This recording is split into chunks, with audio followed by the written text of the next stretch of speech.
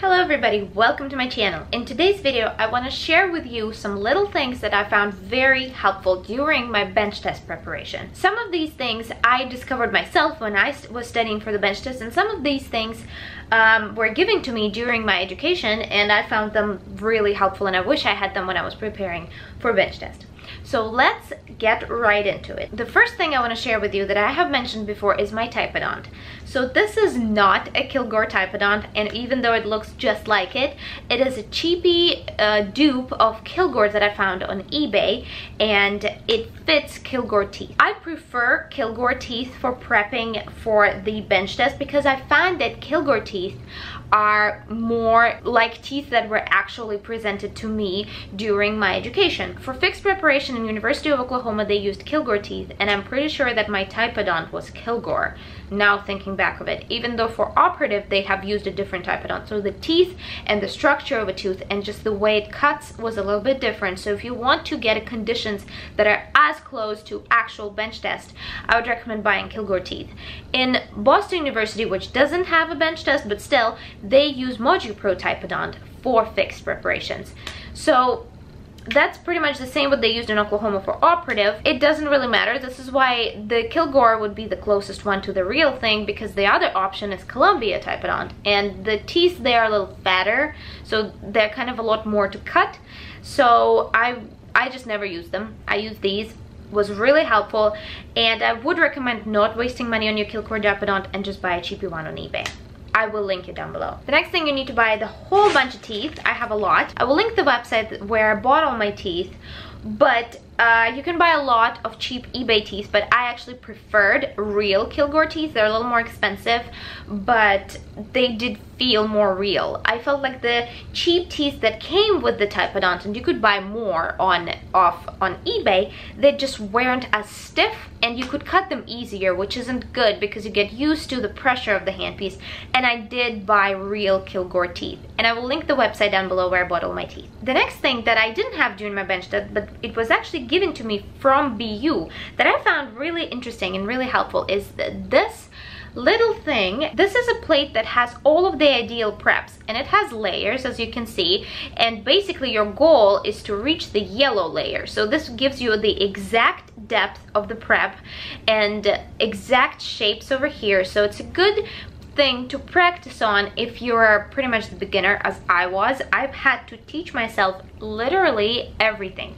I went to med school, if you went to Russia, and if you went to not if you're Russian, you will understand what I'm saying. If you went anywhere that is not the third medical school, which is very dental specific, you will you probably never prepped as teeth or never had any focus on them in your dental career. But anyway, that's for Russian friends only. Hello. Anyway, I had to teach myself from scratch how to prep them and this thing would be really helpful because it took me a few tries to find out what actually I need and what my prep should actually look like. This will give you the exact um, shape and you can practice a lot of different things in here. So this is a good little thing. I do not where to I do not know where to buy it, but I will look it up for you and I'll try to link it down below. But no promises on this one because I haven't bought it myself. This was provided to me by the school. The third thing that I didn't have when I prepped for the bench test, but it is a must. And I mean a must.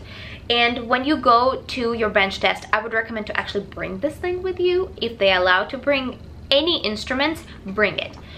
This is a putty. So this is a silicone impression material and we all know and love it and you can use it on your patients. You, you've used it before, I'm sure of it. So you can buy any brand of it. You can find it online. I will try to find it and link it down below. This was provided to me by BU. Um, I have never used this one actually. I used the one that was provided to me by Oklahoma. But this is very helpful because you can make yourself a little putty stand like this. And it goes right on top of your tooth and you cut it in two. Well these are not the same tooth but anyway you cut it right the, down the middle. I'm sure you have used it in your previous dental school but you cut it right down the middle and it will give you the exact shape and outline of your tooth. So you will know exactly how much to reduce. Then working with actual occlusion and reduction you can check the reduction when you put your teeth together and you can see how much you reduced but these are just a little bit easier and you can not only see how much you reduced but you can see the outline of the crown that it was before and the outline of the crown that you prepped these I still use them. I don't think I will ever stop using them. Um, even in, in clinics, I still use the putty stents and I'm sure a lot of people do. So when you prep for the bench test, for some reason I didn't think of buying it, but now looking back, I certainly would buy it for my crown preps. There is no better advice than buying these things. Now I want to talk about the ideal prep guides.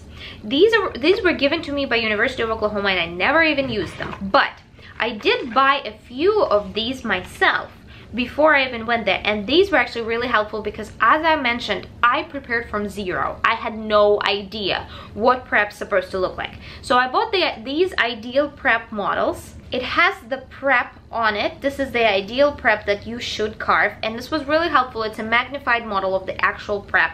I bought two of these. I bought the one for the upper and the one for the lower class too and these was really really helpful.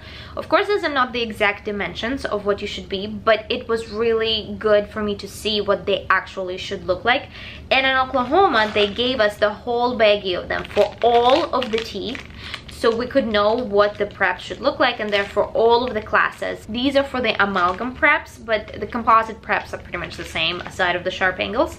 So these two were really helpful for me and I've bought them on the same place I buy my Kilgore tees. So I do recommend you looking into it if it's your thing.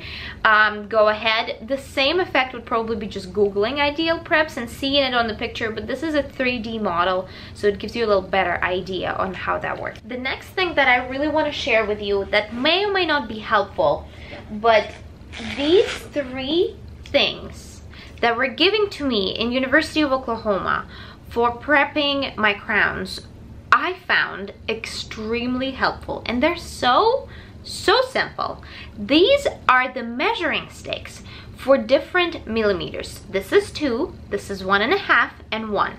So when you need the exact reduction for your crown of one one and a half and two depending on the material of the crown you just stick this thing in between your tooth and a putty guide so just like this, the tooth would be standing in here and you can just measure if the stick feet fits uh, smoothly, that is exactly one millimeter or one and a half or two, however many. So this was so simple, but so helpful. I think these uh, particular sticks are called Prep Sure Guide, if I'm not wrong i will look it up and i put it down below and they're pretty expensive unnecessarily expensive because i think they're 80 bucks the just these three things. Of course i got them with my school kit so the price was different. But you can probably find something that is exactly two millimeters one and a half millimeter and one millimeter wide and use it for checking your crown preps which is a good idea. oh yeah, there it is. It's a it's a prep sure guide. It says so on, on the side. If you can get your hands on these, if you can find them used on eBay, or if somebody's graduating and, and can give them for you for free, definitely get them. Don't think that they look simple and flimsy and kind of like a childish toy, which they do, but they were extremely, extremely helpful for me. The exact same thing, if you can't find them, that's okay. They, you can do the exact same thing with your Explorer. You can just measure how much you reduced, but these were just so easy and so simple, and I love using them. I still have it, them in my lab kit. This is my roll-up. These are all of the instruments that I carry with me to the lab and I have a lot of these but these are so helpful and I still cannot let go of them. They're much more convenient than an Explorer. But again this is not a must but that would make your life a lot easier. The last thing that you definitely should have when you're prepping for your bench test is enamel hatchet or enamel hatchet. I'm not I still don't know how to pronounce that word correctly. Is it an enamel or enamel? I'm pretty sure it's enamel Anyway, enamel hatchet and gingival marginal trimmer could be useful for those sharp angles for amalgam. It sometimes is useful for me. I don't use it a lot. I pretty much never used it during my bench test prep. You can do the exact sharp angles just with one instrument. You can do the same thing with just an enamel hatchet. Um, and I bought a couple of them because they get a little dull when you prep for the bench test, but you definitely want to bring it with you do, to your bench test if they allow the instrument. Sometimes it wouldn't come in the cassette that they provide you. So if you can smuggle it in, smuggle it in. This would be really helpful. Besides, the width of the blade of enamel, an enamel, enamel hatchet is exactly one millimeter. Yeah, the width of the enamel hatchet is exactly one millimeter. So when you prep your class twos or class one or whatever you need to prep, you can just measure the width just by putting the enamel hatchet and it should pass freely throughout, throughout the entire uh, prep. And then you know that you're wide enough, you're good. So that is a very helpful tool in more ways than one. Other things are of course obvious. You will need your Explorer, you will need your mirror, you will need your burrs, but these things that I mentioned today are just little things that are gonna help you, that are gonna just push you forward a little easier in case you're starting from scratch and you have no idea what to do. They would have definitely been helpful for me. I will talk more about specific burrs that I use and about the preps that I do in my future videos right now I think this is all I can do without my camera equipment to actually film the preps. I'm still working on it. I'm working on it pretty slowly because I'm in clinics right now and it's just a mess. So I will see you in my next video with more specific details for your bench preparation. If you like this video, please give it a like. It actually does help me a lot. And if you could subscribe to my channel, you would see a lot more videos on bench test preparation and just dentistry in the United States. Thank you very much for watching and have a good day. Bye.